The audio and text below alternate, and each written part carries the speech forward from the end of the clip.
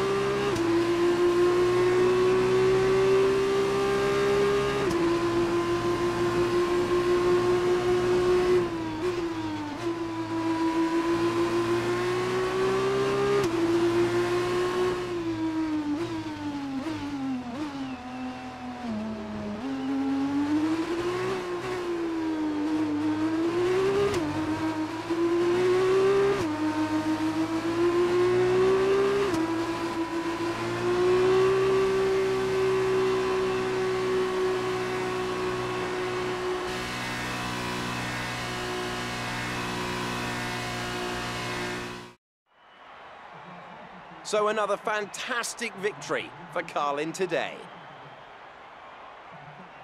Davide, what do you think made the difference here? Simply, they are just a better driver in the wet. Here in Formula 2 we know the car are the same, so it's not down to machinery. They can just handle the weather better than everyone else. I mean, they can have the throttle open longer, they can push more, brake later, and are able to handle it all. They make it look like they have a much faster car, but it's a pure skill behind the wheel. Really incredible driving. And there you have it, today's winners. Having raced some of the biggest names in F1 to date, Carlin have once again shown their expertise when it comes to recruiting new talent. No doubt today's winners have a bright future ahead of them. They certainly deserve it after today's performance.